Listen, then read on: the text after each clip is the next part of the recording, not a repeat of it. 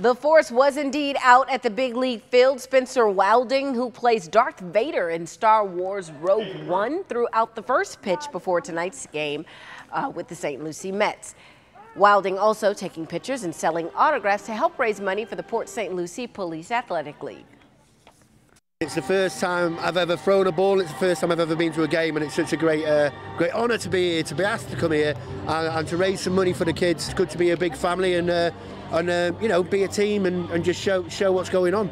You know, it's got to be done. Use the force, right? Right indeed. Meanwhile, the backfields at First Data Field playing host to the Prospect Wire World